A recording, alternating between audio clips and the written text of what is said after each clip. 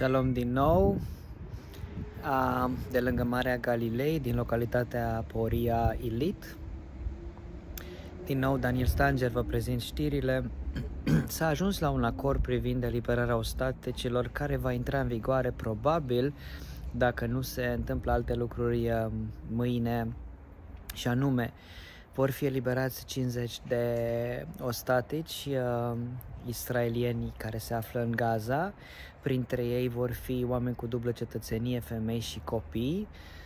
Uh, iar în schimbul acestor 50 de persoane vor fi eliberate 300 de persoane care stau în uh, închisorile israeliene și anume femei sau uh, copii care au comis acte de terorism în Israel.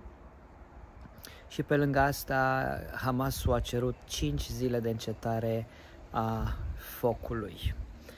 Dacă este așa sau nu este așa, vom afla probabil cu siguranță în următoarele ore sau în următoarele zile, pentru că acest uh, uh, regulament prezintă ca în fiecare zi să fie liberați 10 ostatici, dacă Israelul își va respecta termenii și condițiile. Uh, și să vedem dacă și Hamasul își respectă termenii și condițiile.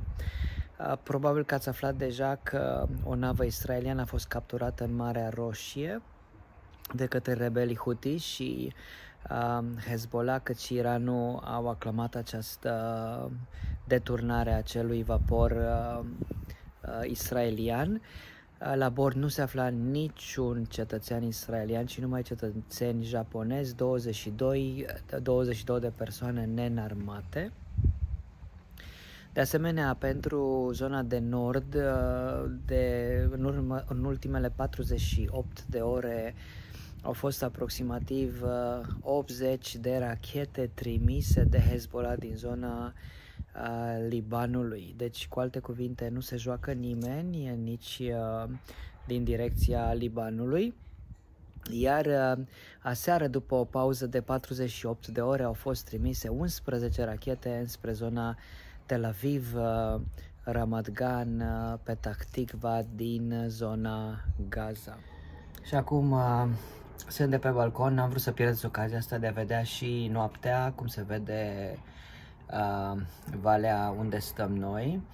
Și uh, chiar acum, în noaptea aceasta, este ședință de cabinet pentru acceptarea condițiilor uh, Hamasului, a Qatarului și a Statelor Unite.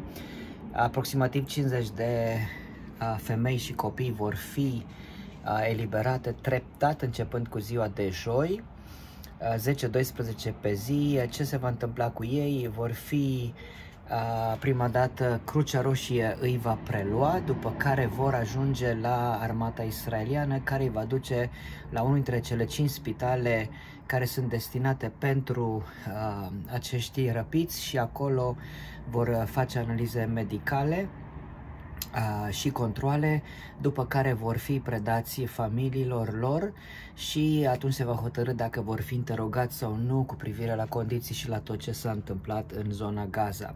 Vor fi patru zile de întrerupere a focului, conform cu acest tratat dacă se va accepta, pentru că în cabinetul de securitate acum sunt foarte multe discuții.